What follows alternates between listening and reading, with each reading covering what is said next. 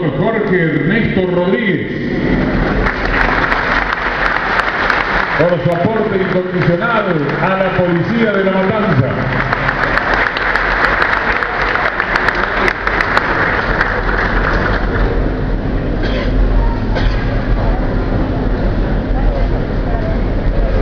Y está con nosotros, repetimos el aplauso para el doctor Jorge Ernesto Rodríguez, juez federal.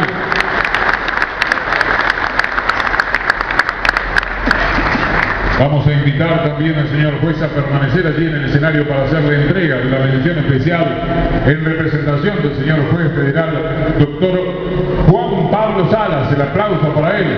También por su aporte incondicional a la Policía de la Matanza.